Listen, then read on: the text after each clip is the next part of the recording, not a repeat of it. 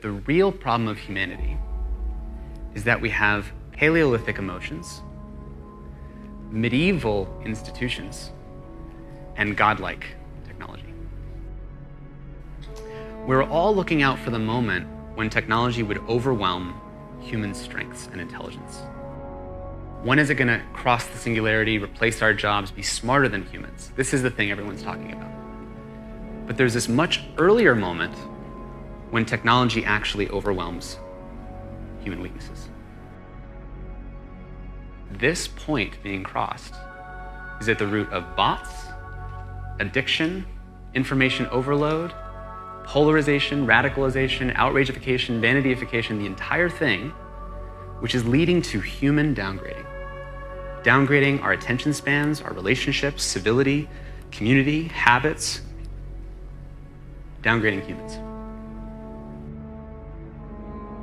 70% of YouTube's traffic is driven by what the algorithm is recommending. People think, oh, that's not true. Like, I'm the one choosing my way through YouTube. Let me debase that. The simplest example is you're sitting there, you're about to hit play in a YouTube video, and you're like, I know there's other times I get sucked in, but this time is going to be different. And then, of course, you hit play, and two hours later, you wake up from a trance. You're like, what the hell just happened to me? What happened in that moment, people don't see is that somewhere in a Google server is it wakes up this avatar model voodoo doll version of you. Mm-hmm. And based on all your clicks and likes, that's, those are like your hair filings and nail clippings, it makes this model behave more and more like you. And then what they do is they prick that little avatar model with 100 million videos and they say, well, which one, if I were to test this video, this video, this video, this video, would keep you there the longest?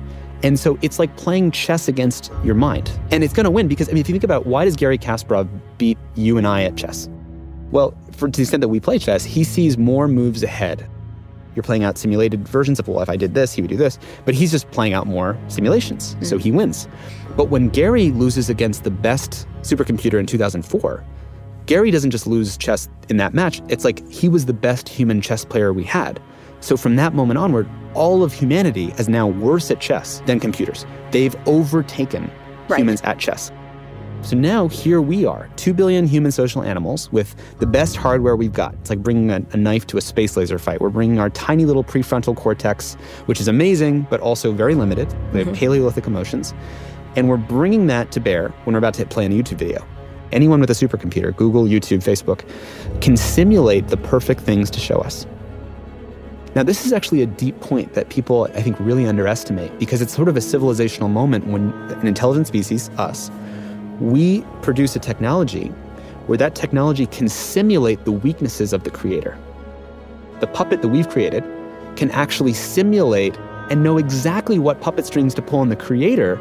So now we're all outraged. And when you realize that this is having a control over our social fabric, it's having a control over children's mental health, it's having control over our politics, it's having control over our elections. And people really haven't realized that technology is holding the pen of history right now. And so we're not in control.